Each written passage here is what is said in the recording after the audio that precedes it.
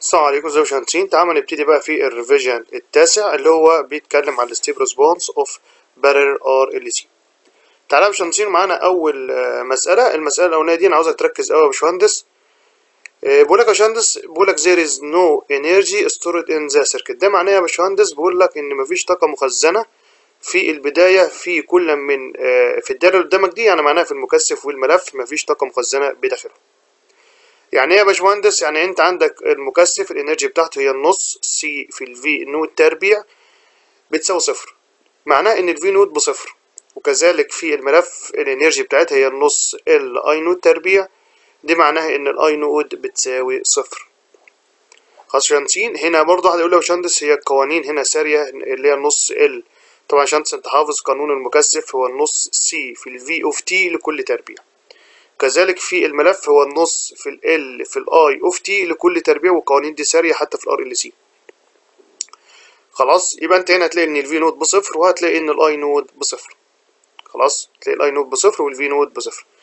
دايما يا باشمهندسين في المسائل بتاع LC زي ما إحنا قلنا بنحتاج القيم ال initial اللي هي ال I node وال V node بالإضافة إلى لو انت شغال في step response دايما هتحتاج ال I عند الما لا نهايه تعالى يا باشمهندس نكمل المسألة بتاعتنا. بقول له find ال I node عاوز ال I node وال V node عاوز كل من ال I node وال V node دول يا باشمهندسين بتوع الملف. خلاص عاوز ال I node وال V node بتوع الملف.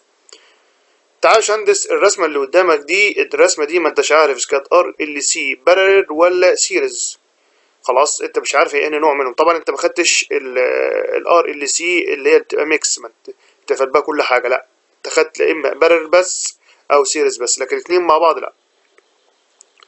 يبقى الدايرة دي لازم أحولها لشكل أنا عارفه بما إن الملف والمكثف الاثنين توازي يبقى أكيد دي parallel يبقى لازم أتصرف في المصدر والمقاومة دول. لازم أتصرف في المصدر والمقاومة دول. دول يا باشمهندس مصدر جهد توالي معاه مقاومة 125 أوم ده أقدر أخليهم مصدر تيار معاها مقاومة توازي. طبعا المقاومة التوازي هتبقى 125 زي ما هي ومصدر التيار هتبقى 25 على 125 خمسة وعشرين على مية خمسة وعشرين اللي هي خمس تطلع باتنين من عشرة أمبير يبقى أنا يا باشمهندس بعد ما عدلت الرسمة بتاعتي أنا رحت حطيت التوازي مع مصدر التيار الاتنين توازي مع بعض. قيمة المقاومة نزلت زي ما هي مية خمسة وعشرين أوم والتيار اتنين من عشرة أمبير وما انساش أول مطلوب عندي هو الطالب find the expression for ال I node of T عاوز ال I node دي كدالة في ال time. طبعا ما انساش برضو إن أنا معايا ال I node بتساوي الصفر وال V node بتساوي الصفر. تعالى يا باشمهندس أنا دلوقتي الدايرة عند ال T أقل من الصفر. خلاص أنا مش محتاج أرسمها هنا لأن أنا كده كده أصلا معايا القيم ال initial لو القيم ال initial دي مش معايا هرسمها وأروح أجيب عند ال time أقل من الصفر. طبعا الدايرة هتبقى مستقرة الملف هيبقى شورت والمكثف هيبقى open أروح أجيب الجهد وأجيب التيار بتاع الملف. طبعا بما إن هو مديهم لي فخلاص أنا هتجنب عند ال time أقل من الصفر وأروح أبتدي عند ال time أكبر من الصفر.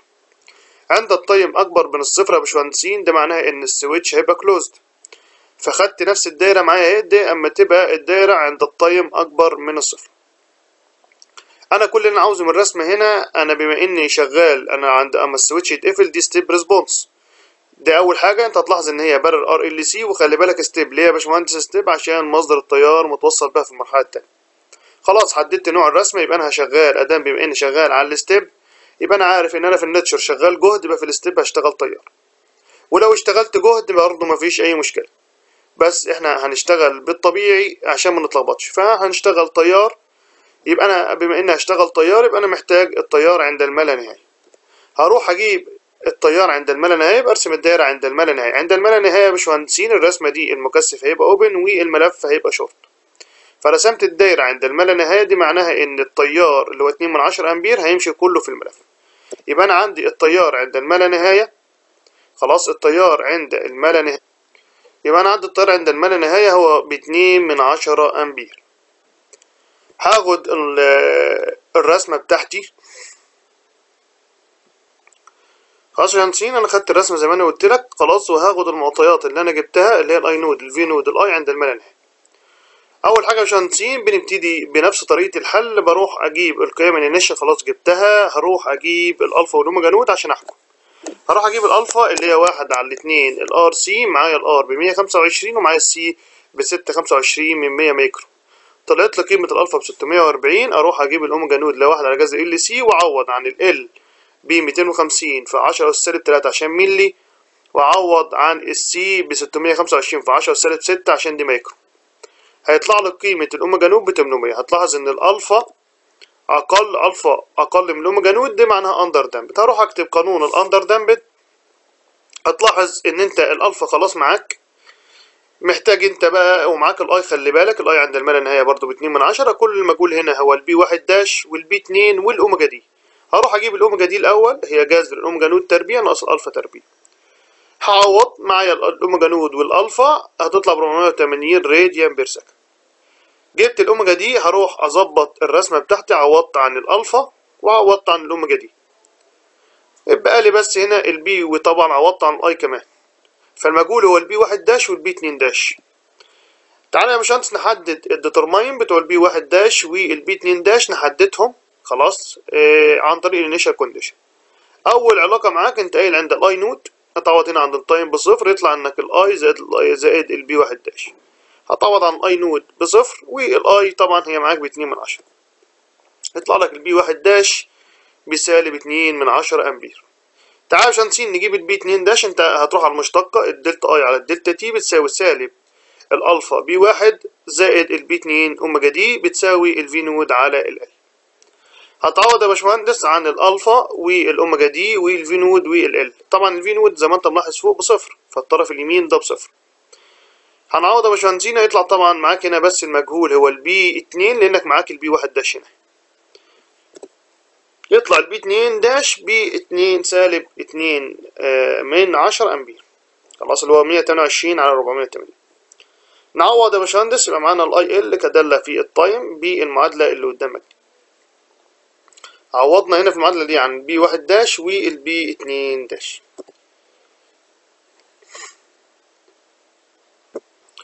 يا باشمهندسين دي معادلة التيار كدالة في ال time بعد كده هو كان طالب الجهد على الملف.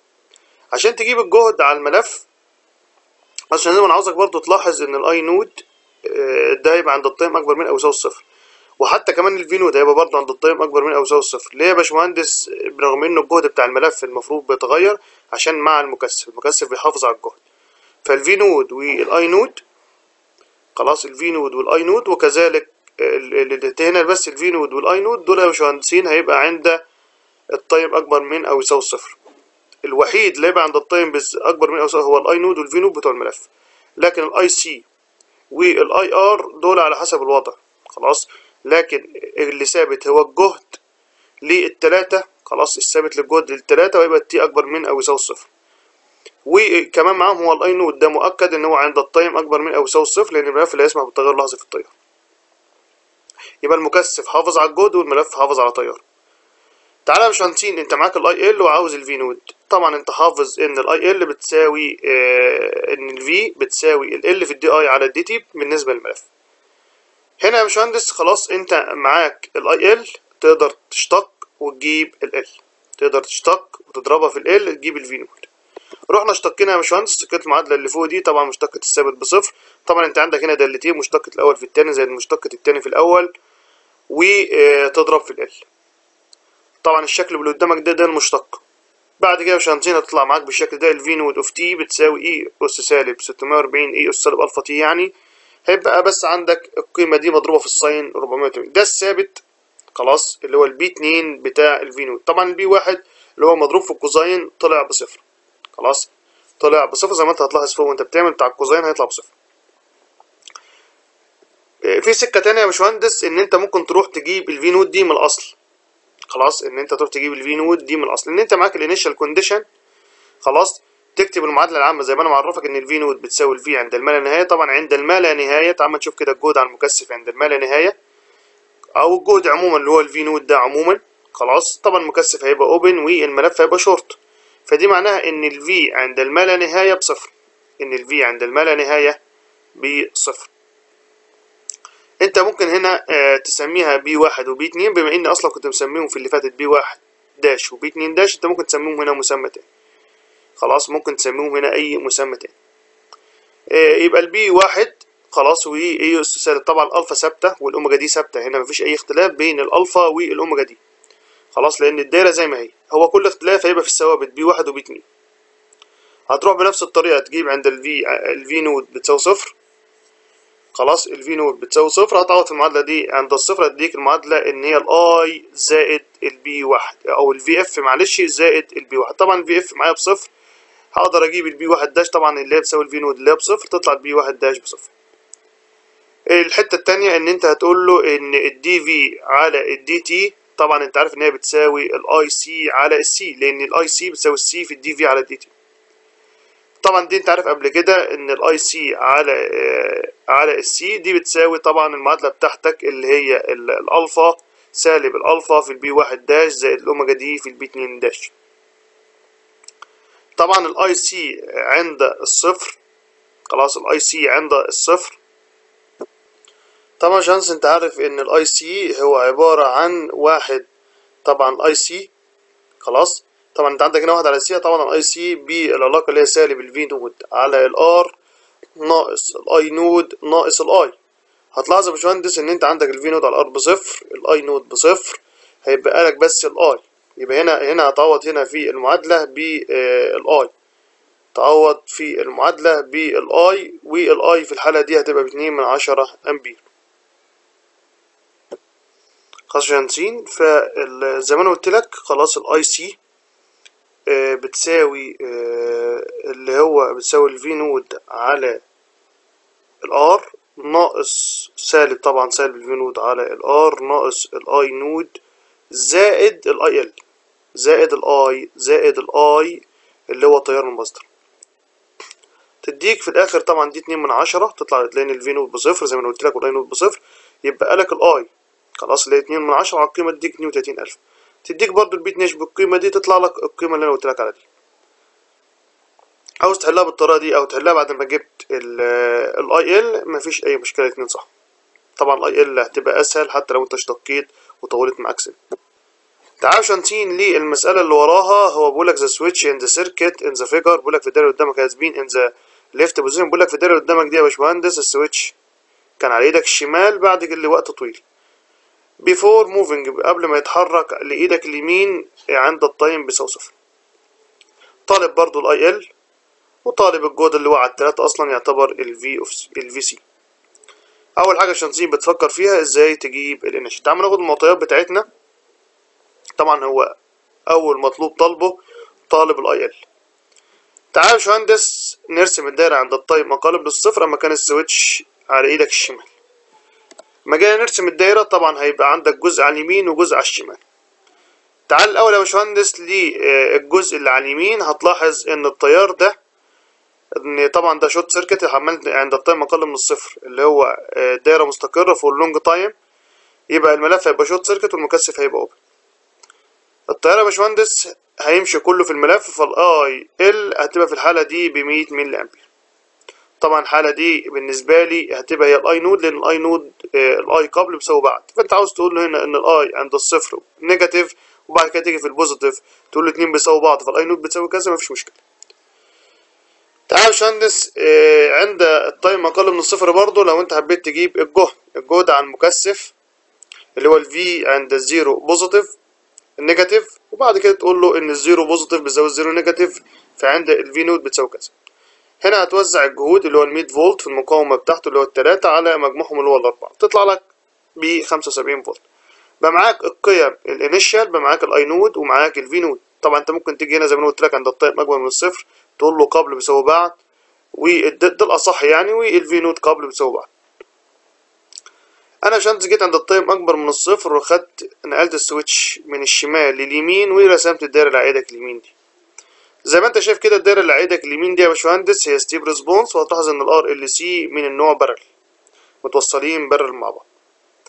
أول حاجة يا باشمهندسين أنا طبعا جبت ال I nought وال V nought بما اني هتعامل هنا مع التيار فمحتاج ال I عند الملا نهاية. فأروح أرسم الدايرة عند الملا نهاية. أما أرسم الدايرة عند الملا نهاية يبقى مستقرة الملف هيبقى شورت والمكثف open فالتيار اللي هو 100 ملي امبير كله هيمشي في ال IL اللي عندي في الحالة دي التيار عند الملا نهايه تسميه I أو IF بتساوي 100 ملي أمبير. يبقى أنا يا باشمهندس خلاص بقى معايا المعطيات بتاعتي كلها ال I nought ال V nought ال I عند الما لا نهايه أول حاجة هروح أجيب الالفا وأجيب الاوميجا nought. معاك الالفا اللي هي واحد على اتنين آر معاك الار ومعاك السي تعوض تجيب الالفا تروح تجيب الاوميجا nought اللي واحد على جذر ال سي معاك ال معاك السي تروح تعوض وتجيب الأوميجا nought. هتلاحظ إن الألفا والأوميجا nought إن الألفا أكبر من الأوميجا nought ال overdamped ال general solution خلاص بتاعنا إن ال IL of T بتساوي ال I زائد ال I واحد dash e S واحد T زائد I اتنين dash e S اتنين T بعد كده يا باشمهندس هتروح آه هتجيب الأول ال S واحد وال root ال roots بتاعتك يعني هتجيب ال S واحد وال S اتنين. زي ما أنت حافظ قانون هتروح تجيب ال S واحد وال S اتنين عن طريق السالب تعوض بالألفا والأوميجا nought يطلع لك ال S واحد وال S اتنين بالقيم دي. تظبط شكل المعادلة اللي عندك خلاص آه تطلع لك المعادلة آه تطلع لك المعادلة يا باشمهندس بالشكل اللي قدامك ده. عوضنا عن ال I وعوضنا عن آه طبعا اللي هو الألفا والألفا في هنا ال S واحد ب 200 وال S اتنين بسالب 800 خلاص يا هندس الدايره اللي قدامك دي هتلاحظ اللي مجهول فيها بس هو ال I واحد dash وال I اتنين dash ال I واحد dash وال I اتنين dash عشان تجيبهم هتجيبهم عن طريق ال initial عندك يا باشمهندس ال I nought بتساوي ال I زائد I واحد dash زائد ال I اتنين dash دي عند ال time بيساوي صفر. لو انت عوضت في المعادلة دي عند ال time بيساوي صفر هيديك المعادلة دي. هتعوض عن ال I nought بالقيمة بتاعتها اللي هي 100 مللي 100 في 10 سالب 3 وتعوض عن ال I بقيمتها اللي هي 100 مللي. هيطير الاثنين مع بعض يديك المعادلة دي إن ال I واحد dash زائد ال I اتنين dash بت... بتساوي صفر ده أول معادلة معايا. تعال تاني معادلة اللي هي تيجي عن طريق الاشتقاق إن ال DI على ال DT اللي هي بتساوي ال V nought على ال L هنعوض عن ال S واحد وال S اتنين معلوم قيمتهم ونعوض عن ال V nought اللي هي معايا قيمتها بخمسة وسبعين على ال L اللي هي قيمتها ميتين وخمسين ملي اللي هي خمسة مية دي المعادلة التانية نحل المعادلتين مع بعض يديني ال I واحد dash وال I اتنين dash وما تنساش إن وحدتهم بالامبير هنعوض في المعادلة اللي فاتت يديك المعادلة بتاعتك اللي هي ال IL كدالة في ال time بالشكل اللي قدامك. لو انت حبيت يا باشمهندس بعد كده تجيب ال VC عاوز الجهد على المكثف زي ما أنا قايل لك قبل كده هتروح تشتق. جهد ال VC هو نفسه ال VL اللي هو L في ال DI على ال DT هتشتق يا باشمهندس هيديك المعادلة اللي قدامك دي. خلاص هتشتق المعادلة هيديك المعادلة اللي قدامك. طبعا هتشتق الأولاني بصفر هتشتق ال S واحد تنزل بسالب ميتين في نص ودي سالب تمنمية في نص قاشنسين وتضربهم طبعا الاتنين بعد الاشتقاق هنضربهم في ال L اللي هي خمسة وعشرين هيديك ال VC بالشكل اللي قدامك. تعال يا باشمهندس بيقول لك في المثال السابق اللي هو ده بيقول لك آه كمل عليه بيقول لك find the total energy عاوز ال total energy delivered to the inductor عاوز ال energy اللي خلي بالك. delivered to خلي بالك هو قصده هنا اللي هي هتنتقل من الملف للمقاومة. خلاص اللي هي delivered from the inductor to resistance هي الصيغة بس معلش هنا المفروض delivered from اللي هتتنقل اللي, اللي هتطلع بقول لك عاوز ال energy اللي هتطلع من الملف للمقاومة وكذلك هتلاقي تاني مطلوب ال energy delivered to اللي هتروح لل 40 اوم يعني عاوز اللي هتطلع من 250 واللي هتوصل لل 40 والمفروض يطلب كمان اللي هتطلع من المكثف. هتلاقي بيقول لك هنا find the total energy delivered to the capacitor يعني قصده اللي هتطلع من المكثف للمقاومة. يبقى أنت يا باشمهندس هو أول ثلاث مطالب عاوز بتاع الملف ال energy بتاع الملف ال energy بتاع المكثف. عاوز يا باشمهندس ال energy بتاع المقاومة اللي هي قيمتها 40 اوم تعال شانس عشان المسألة دي مهمة هنت... هناخد أول مطلوب معانا اللي هي ال energy بتاع الملف. ال energy بتاع الملف دي لها سكتين. إما إن أنت تستخدم القانون الأصلي وده الأسهل اللي هو النص L في ال I of T لكل تربيع وده الأسهل معاك. بس تعالى نقول لك طريقة تانية أنت جايز أول مرة تعرفها. بقول لك يا باشمهندس إحنا لما يكون في ملف مع مقاومة بس كنا قلنا إن ال power المفقودة في المقاومة لها ثلاث قوانين هي الآي تربيع في الآر أو الفي تربيع على الآر أو ال V في I. فإحنا رحنا كملنا ال V في I. لو كملت الفي في آي يديك ال power اللي هتبقى مفقودة في المقاومة. طلع كمان يا باشمهندس لو أنت كاملت ال V في I بتوع الملف يديك ال energy اللي طالع منه. إزاي يا باشمهندس؟ قال لك يا باشمهندس لو أنت رحت كاملت ال power اللي هي طبعا ما حدش يجي هنا يقول لي يا باشمهندس طب هنا ال power في الملف. المفروض هنا بصفر. خلاص؟ بس دي يا باشمهندس ال power مع تغير الزمن هيطلع فيه energy طالعة من الملف للمقاومة عن طريق تكامل ال power خلاص؟ ده عشان هنا حالة transient خلاص؟ تعالى يا باشمهندس لو انت حبيت بس طبعا هديك قانون تاني عشان القانون ده بيلخبط عشان الناس حافظة ان ال power في الملف بصفر. خلاص؟ آه تعالى يا باشمهندس من صفر إلى ما لا نهاية. طبعا انت بتكامل من صفر لما لا نهاية. ال power دي هنقول ال V في I طبعا ال V اللي هي ال V C of T في ال I اللي هي ال I L كدالة في ال time. طبعا أنت معاك الاثنين اللي إحنا لسه جايبينهم دلوقتي تضربهم في بعض وتروح تكامل من صفر إلى ما لا نهاية. أنا رحت ضربتهم في بعض جبت لك ال power الأول. بعد كده هنروح نكامل. خلاص رحنا كاملنا طبعا التكامل هنا كبير جدا. طلع معانا في الآخر إن ال energy بتاع الملف بصفر. طيب واحد يقول يا باشمهندس الطريقة دي رخمة شوية قول لنا طريقة أسهل من كده. تعالى يا باشمهندس الطريقة اللي اسهل من كده إن أنت هو هنا أنت عاوز ال energy عند ال initial وال energy عند الملا نهايه تطرحهم من بعض تعرف اللي راح للمقاومة. تعالى يا باشمهندس عند لو إحنا جينا على القانون أهو اللي هو ال I L of T وقلنا النص L في ال I of T بس هنقول ال T عند ال time بيساوي صفر. طبعا أنت معاك ال I nought. ال I nought يا باشمهندس لو إحنا رجعنا كده إحنا معانا ال I nought كانت ب 100 مللي. ال I nought ب 100 مللي. وعند الملا نهاية ب 100 برضه. تعال يا باشمهندس ال I لو إحنا قلنا نص L ال I nought اللي هي ب 100 تربيع. دي هنقصها من عند الملا نهاية يبقى النص L ال I عند الملا نهاية تربيع. أنت أصلا هتلاحظ إن أنا لسه قايل لك من شوية إن ال I nought وال I عند الملا نهاية الاثنين ب 100 مللي. حتى لو انت عوضت عن ال time بصفر هنا وبما نهاية يطلع لك نفس القيمتين اللي هو 100 مللي. امبير معنى إن أنت تطرح نفس القيمتين من بعض إن ال energy بصفر وده اللي أنت لاحظته تحت أصلا إن ال energy هتطلع بصفر. طب تعالى يا باشمهندس بالنسبة للمقاومة. المقاومة أنت معاك الجهد. هتقول له تكامل ال V تربيع على ال R خلاص؟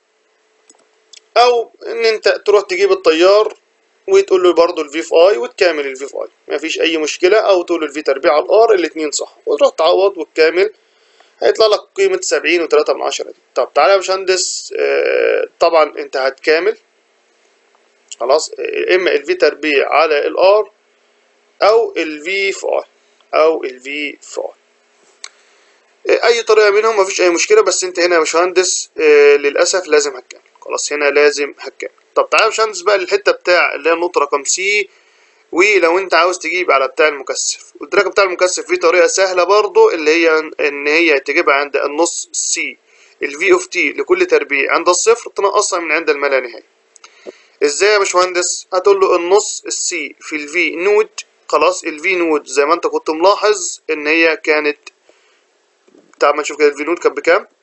ال V nought كانت ب 75 ال V nought كانت ب 75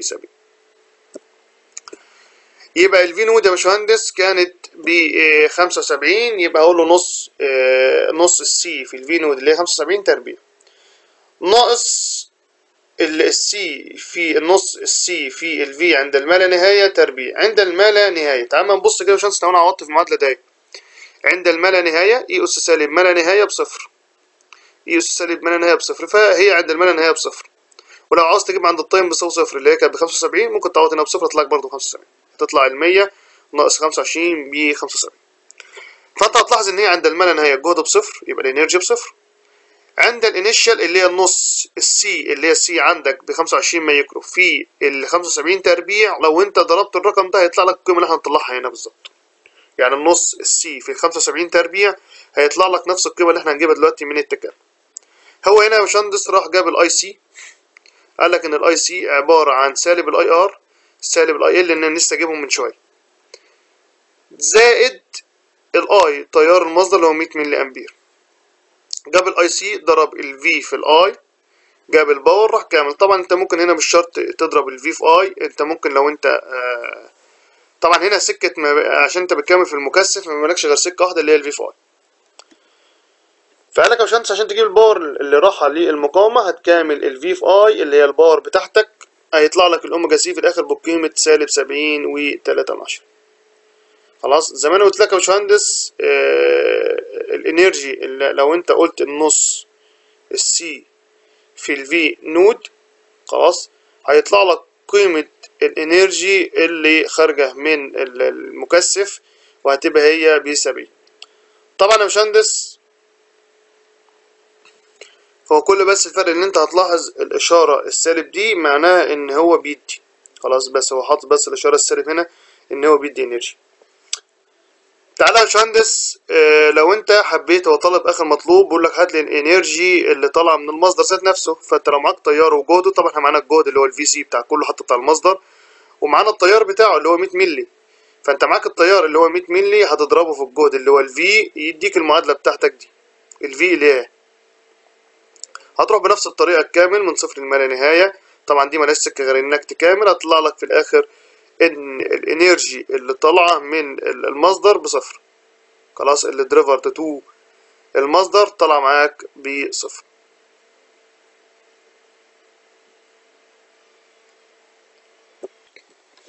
خلاص يا باشمهندس فأنت هتلاحظ إن ال energy اللي طالعه من المصدر بصفر. طب واحد يقول لي يا باشمهندس هو الكلام ده منطقي إن المقاومة عند عند الما لا نهاية ما تاخدش من المصدر ما في المفروض هيتمرر تيار في المصدر. في المصدر هيمرر تيار في المقاومة. هقول لك لا يا باشمهندس ليه؟ لأن الملف ده هيبقى short circuit والمكثف هيبقى open فالملف هياخد التيار كله. فدي معناه إن المقاومة عند الما لا نهاية خلاص المصدر مش هيغذيها أصلا. هو كل اللي بيغذيها فعلا هو المك... زي ما أنت هتلاحظ هو المكثف. خلاص هتلاحظ إن الوحيد اللي بيغذيها هو المكثف. تعالى كده يا باشمهندس. زي ما إحنا دي القيم اللي إحنا جبناها جبنا بتاع الملف ما بيديش فعلا هو بصفر وبتاع المصدر بصفر. هتلاحظ إن المقاومة والمكثف الاتنين بيساووا بعض. المكثف والمقاومة بيساووا بعض. يعني معناه إن المكثف هو اللي بيدي المقاومة. وطبعا هو هتلاحظ إن هو قايل لك إن خلي بالك إن الديليفرد بيساوي الابسورب طبعا ال absorbed بتاعي في الحالة بتاعتي دي هي ال R وال delivered هو ال C هو المكثف اللي بيدي. لأن هو طالب في الآخر. خلي بالك بقى يعني لو رجعنا للمسألة هو طالب ال energy بتاع ال R بتاع ال بتاع ال C المطلوب رقم D قال لك ال energy بتاع المصدر ذات نفسه. خلاص جبناها. قال لك اعمل لي check اللي هو آخر حاجة عملناها دي. إن check the result of the part A through D من ال D اتاكد من ال D ده against the conservation of the energy principle. يعني بقول لك يا باشمهندس إن اللي طالع أو ال delivered اثبت ان ال delivered بيساوي ال absorbed وده اللي هو أثبته في الآخر كتب لك القيم كلها أهو. قال لك دي الأربع قيم معاك وأثبت في الآخر إن ال delivered بيساوي ال absorbed هو ده قصده بالكلام ده. تعالى يا باشمهندسين للمساله الأخيرة معانا. وبيقول لك the switch عندك اتنين switch عند الاتنين switch قبل خلي بالك وضعهم مختلف. الاتنين ماشيين عكس بعض إن ده قبل كان مفتوح إن ده قبل كان مقفول. بعد كده عند ال time بيساوي صفر الوضع هينقلب. بقول لك خلي بالك يا باشمهندس السويتشين في المرحلة الأولى كانوا مقفول long time كانوا الاثنين هيبقوا عند long time حتى لو ما قالش إحنا عارفين اللي هو long time قال لك يا باشمهندس خلاصة الكلام هات لي ال IL of t عاوز ال IL of t تعالى يا باشمهندس أنا هاخد الرسمة بتاعتي وطبعا أنا محتاج هنا ال initial condition بتاعتي فأقول له عند ال time أقل من الصفر رحت قلت ال switch الأولاني ده open وال switch التاني closed ورسمت الدايرتين بتوعه بالشكل اللي قدامك. هتلاحظ طبعا إن الملف هيبقى شورت والمكثف هيبقى open عشان دي for long time الملف هياخد التيار كله هياخد ال IL هياخد ال 10 أمبير. فده يا باشمهندس التيار قبل. هتقول بعد كده عند ال time أكبر من الصفر التيار قبل بيساوي بعض بيساوي ال I nought اللي هي 10 أمبير. طيب ال VC يا باشمهندس قال لك إن ال VC طبعا 10 أوم 10 أوم الجهد هيتوزع بالتساوي يبقى ده هتاخد 40 فولت. فال V قبل هتيجي أنت عند ال time أكبر من الصفر تقول إن ال V قبل بتساوي ال V بعد بتساوي ال 40 فولت.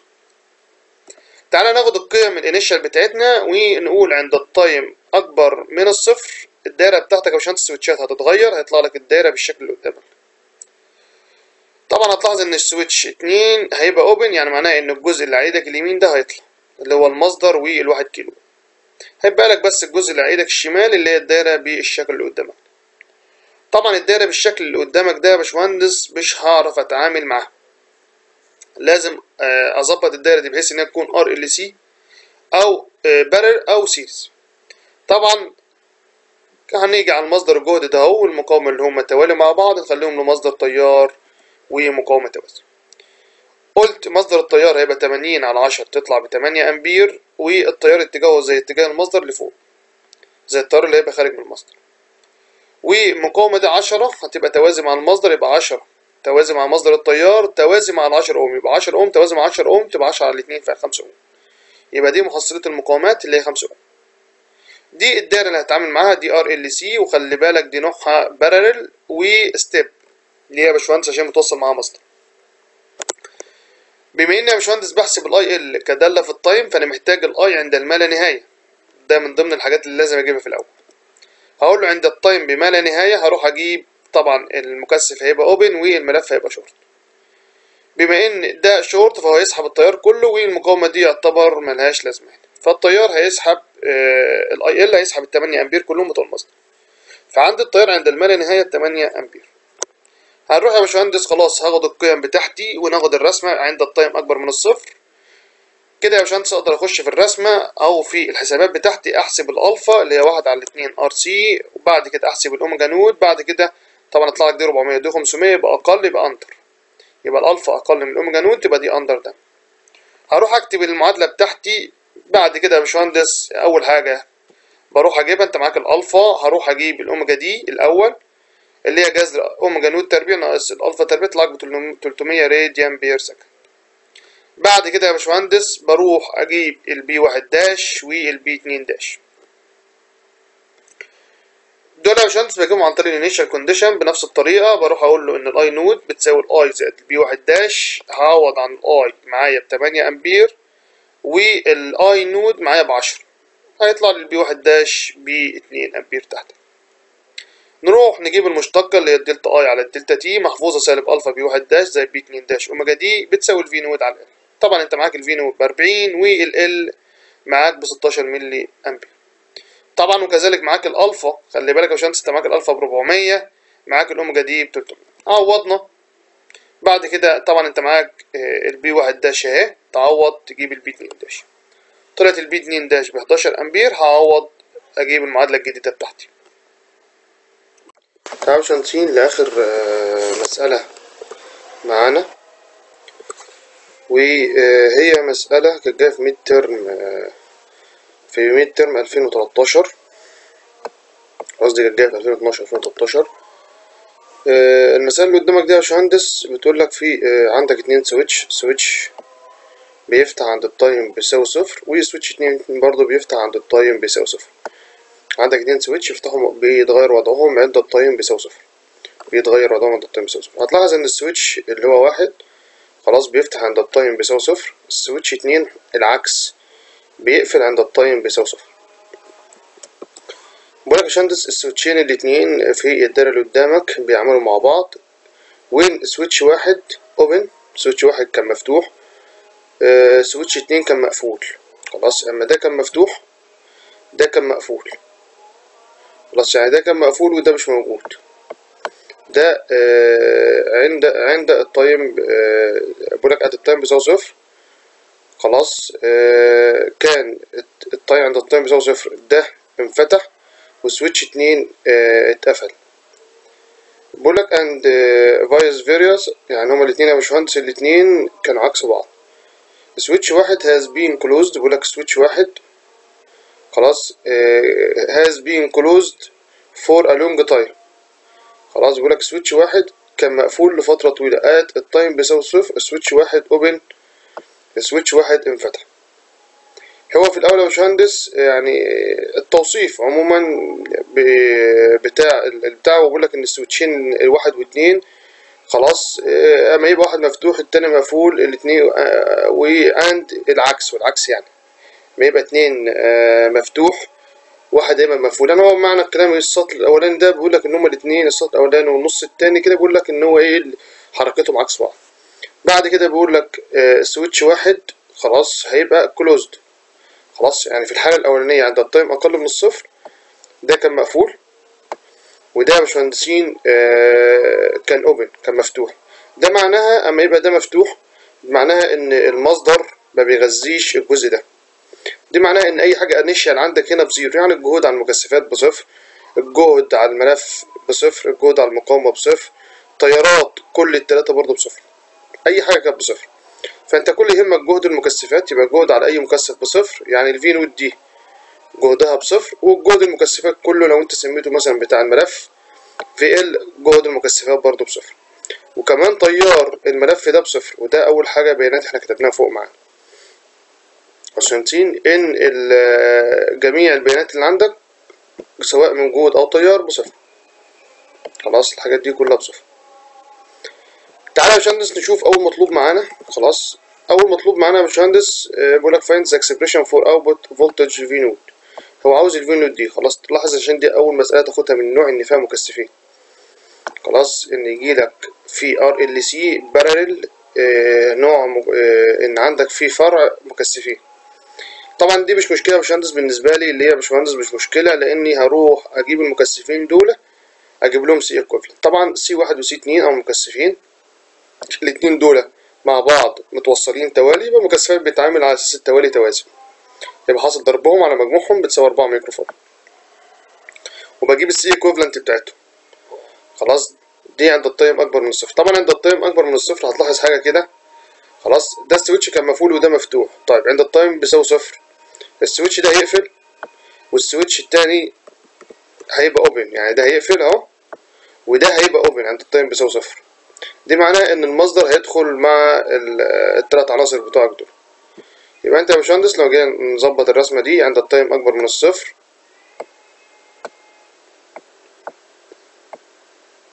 خلاص هتبقى الرسمة بالشكل اللي قدامك ده. دي عند ال time أكبر من الصفر. إحنا كل اللي إحنا عملناه هنروح نجيب ال C equivalent بتاع الاتنين دول. هقول لك ليه دلوقتي. إحنا طبعا إحنا ما تنساش إن هو طالب ال v nought دي ال v nought دي هيبقى حاسبها لها كذا سكة. خلي بالك أول من الحتة دي. أنت ممكن تمشي السكة الطبيعية اللي أنت تجيب تيار الملف. خلاص بس السكة خلي بالك السكة دي في الحالة دي بالذات هتبقى طويلة شوية. إن أنت تجيب تيار الملف خلاص آه جبت تيار الملف هتروح تجيب الجهد على الملف. طبعا الجهد اللي على الملف هو عبارة عن الجهد بتاع المكثفين دول. خلاص؟ فأنت ممكن تجيب أنت ادام معاك تيار الملف خلاص؟ هو هيبقى معاك آه جهد الملف. آه تقدر تجيب التيار بتاع المقاومة دي.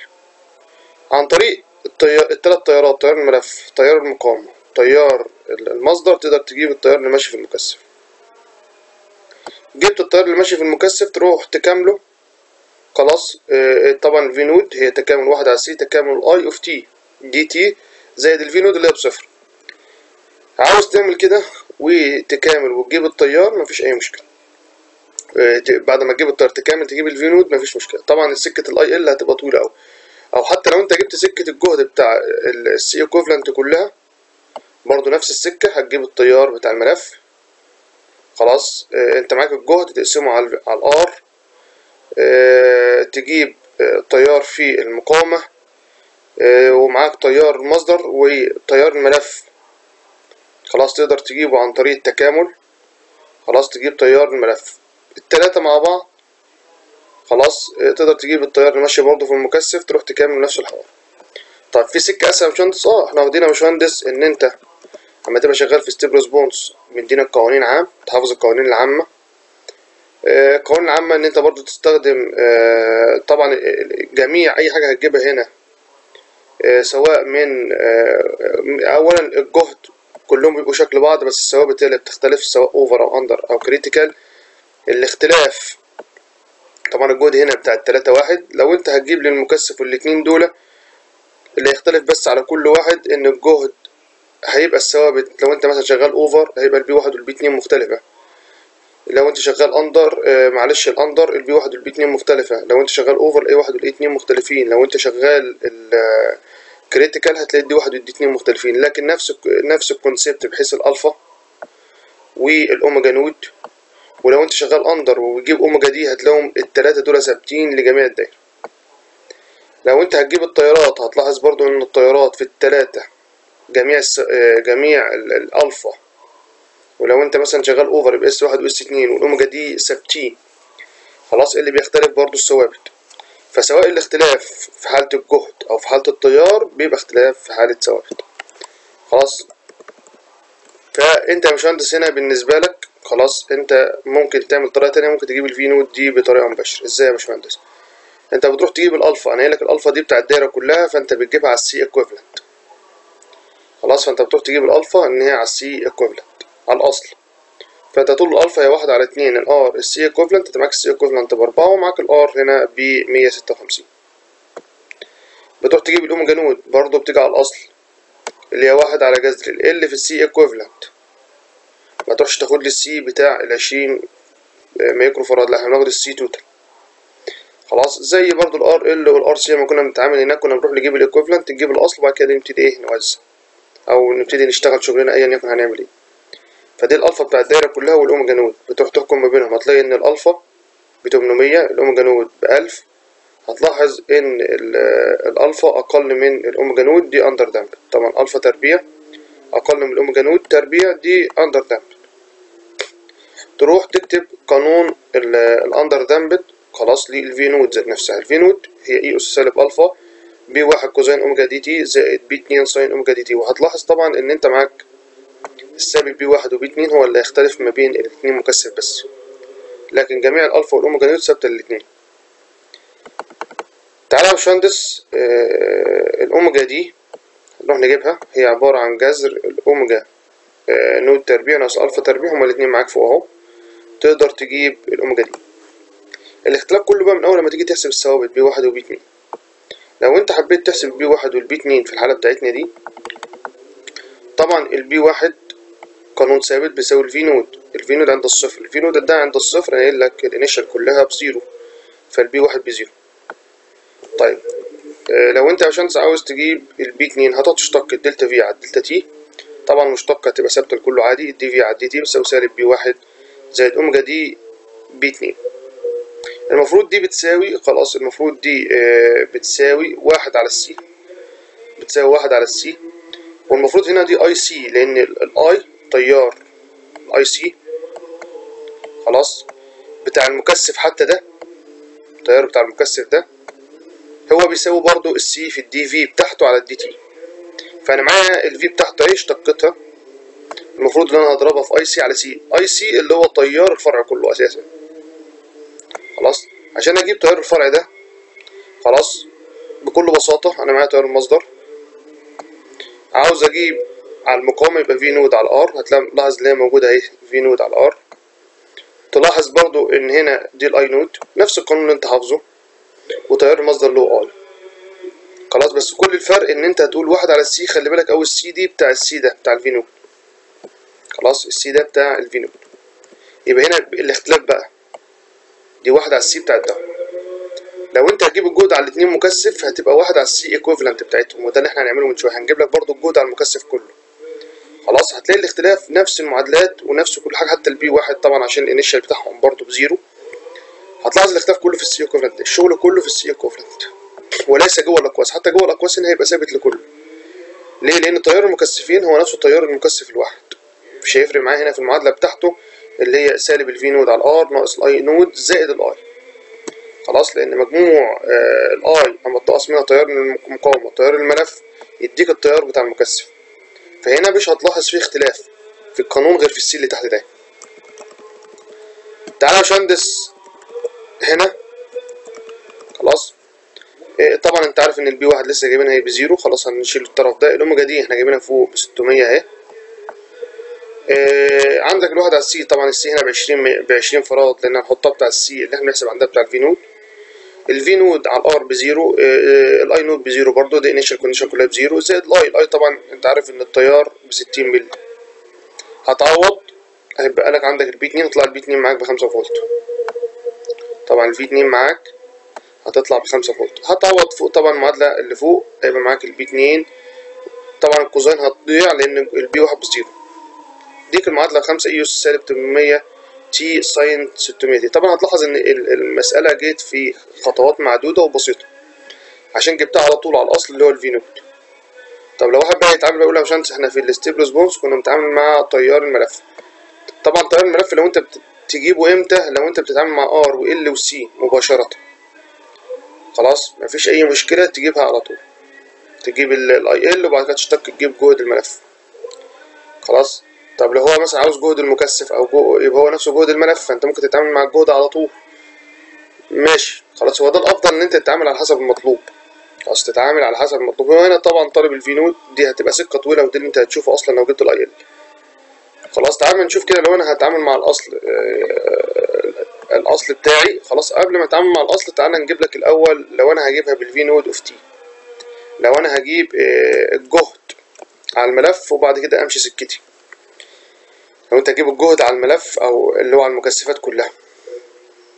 في ناس ممكن تعمل كده وفي ناس بعد كده تتعامل مع الأصل اللي أنت تجيب التيار بتاع الملف وده هنعمله بعد كده. طبعا أنت معاك ال V node ما فيهاش اختلاف ال I node ال initial condition بتاعتك بزيرو. كمان ال C equivalent مش هتختلف. وال alpha وال omega node اللي إحنا لسه حاسبينهم من شوية مش هيختلفوا. وهيطلع لك برضه نفس الحالة هم under damped أي حاجة هتجيبها هنا أصلا هتلاقي under damped خلاص الاختلاف كله من بداية القانون ده خلاص برضه هيبقى القانون ثابت لكله هو الاختلاف بس في ال B واحد وال B اتنين؟ حتى ال omega d مش هيبقى فيها اختلاف.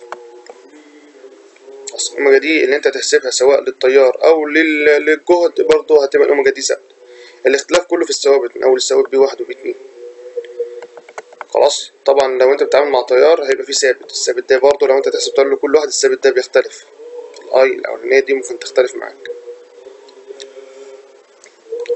تعالى يا باشمهندس ال B واحد وال B اتنين. طبعا إحنا هنتعامل دلوقتي مع الجهد بتاع بتاع كله بتاع الملف أو بتاع المكثفات كلها ال C equivalent طبعا الجهد برضو ال initial ده جهده بصفر وده بصفر يبقى الجهد ال initial على المكثفين مع بعض بزيرو يبقى ال B واحد برضه بزيرو. بعد كده ال delta V على ال delta t هي نفسها برضه سالب alpha B واحد omega d B اتنين. خلاص؟ طبعا ال B واحد وال B اتنين بيختلف من الجهد ده من الجهد اللي هو بتاع ال V node بس لوحده. بس أنت طبعا مش هتعمل حالتين في الامتحان هتعمل حالة واحدة. هتروح تقول له ده بتساوي إيه؟ المفروض ده ال C في ال dV على ال dt بتساوي التيار اللي هو الاي سي طبعا الاي سي برضه هو الفي على الار زائد الاي ناقص الاي نوت زائد الاي دي ما فيهاش أي مشكلة. بس خلي بالك أنت دلوقتي بتتعامل مع الجهد بتاع المكثفين مع بعض فلازم تبقى تحت هنا ال C equivalent اللي هي 4 في 10 أس سالب 6 بما إنك بتحسب الجهد بتاعهم كله. أما تعوض طبعا ده بزيرو وده بزيرو وسالب alpha B واحد بزيرو. هتلاحظ إن ال B 2 تطلع ب 25 ده الجهد بتاع ال- ال- اللي هو على الملف واللي هو نفسه على المكثفين ده الجهد الكلي. أنت بعد ما جبت الجهد الكلي قدامك سكتين أنت جبت الجهد على الملف تروح تكامله آه، اللي هو ال V بتساوي L في ال di على ال dt تروح تكامل الجهد تجيب التيار بتاع الملف. خلاص؟ أو أنت ممكن مباشرة بما إنك معاك آه، جهد المكثف تضرب ال C equivalent في ال dV على ال dt بما إنك ده الأفضل. أنت معاك جه آه، معاك جهد المكثف تروح تعمل الحتة دي بدل ما تجيبهم عن طريق الملف. تقول له ال C equivalent في ال dV على ال dt تجيب التيار. بعد كده تاخد التيار تكامله. بالنسبة للمكثف ده تجيب الجهد عليه اللي هو ال V node of t بتساوي واحد على ال C بتاعته العشرين micro farad من صفر ل t I dt زائد طبعا ال V node دي بزيرو ال initial عاوز تستخدم السكة دي مفيش مشكلة. في سكة تانية برضو بما إن الاتنين مكثفين واقعين تحت نفس الشرط عند التايم أقل من الصفر الاتنين متوصلين بنفس ال- آه، واقعين تحت نفس الشروط مع بعض سواء قبل أو بعد متوصلين مع بعض فهنا ينفع أستخدم خاصية التوزيع. لو أنت هنا استخدمت طبعا ما يفضلش تستخدم دي بس يعني أنت لو استخدمت خاصية التوزيع هيبقى الجهد الكلي طبعا بالنسبة للمكثفات أنت عاوز الجهد على ده بتبقى النسب العكسية هتبقى ال C البعيدة لو انت بتوزع بالنسبة لسي لو إكس سي عادي. لكن لو C لا لازم هتبقى البعيدة هتبقى الخمسة على مجموع الاتنين عشرين زائد خمسة. خلاص هتديك نفس القانون اللي إحنا لسه جايبينه من فوق اللي هو كان خمسة. طبعا الاختلاف كله في الثابت ده واللي هو خمسة. عاوز تستخدم السكة دي؟ مفيش أي مشكلة دي صح. فواحد يقول لي يا باشمهندس أنا هستخدم السكة الأصلية. اللي هي بتاع التيار أنا معايا الألفا ومعايا ال omega node وعرفت في الآخر ال- طبعا ومعايا ال أوميجا دي كمان وعرفت اللي هو under خلاص؟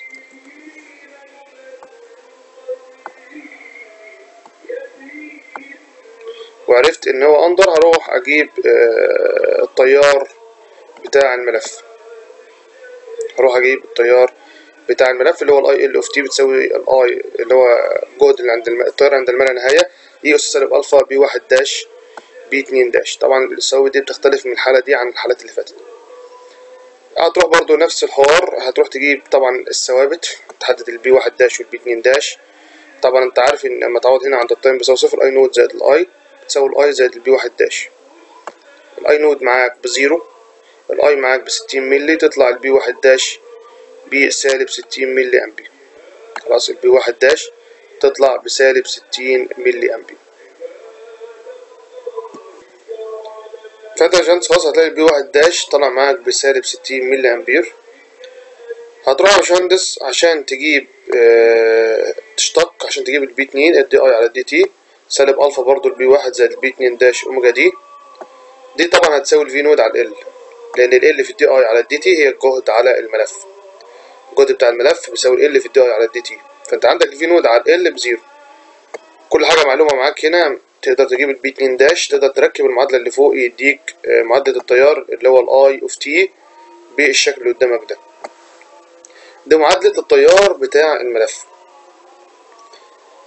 معاك التيار بتاع الملف ده يا باشمهندس خلاص قدامك كذا سكة. خلاص؟ ممكن انت تروح تجيب الجهد على الملف عن طريق ال L في ال D I على ال D T تاخد الجهد بتاع الملف تروح تستخدمه في المكثف. خلاص؟ هتقول له إن الجهد بتاع الملف أو الجهد بتاع الملف والمكثف هو ال L في ال D I على ال D T جبنا الجهد بتاع الملف والمكثفين مع بعض اللي هي بنفس الطريقة. خلاص عندك سكتين إما إن أنت توزع خلاص ودي ما تفضلش. الأفضل إن أنت تروح تجيب التيار خلاص والكامل. خلاص لأنك أنت فعلا ممكن تلاقي المكثفين دول مش واقعين تحت نفس الشروط فيحصل لك مشكلة. فالأفضل إن أنت تروح تجيب ال I C اللي هو عبارة عن ال C في ال D V على ال D T طبعا هنا ال C نفس الطريقة اللي فاتت. ال C في ال D V على ال D T طبعا ال C هنا دي C equivalent اوعى تنسى دي ال C equivalent بتاع الاثنين مع بعض اللي كانت طالعة ب 4 مايكرو فاراد جبت ال I C تاخده كامل تجيب ال V ال V node خلاص تاخده بكامل تجيب ال V node واحد على ال C بتاعتها دي 20 مايكرو فاراد خلاص تروح تكملها وتجيب ال V node خلاص طبعا الافضل أنت تجيب ال V node مباشرة زي اول أول حل حلناه ده الأفضل.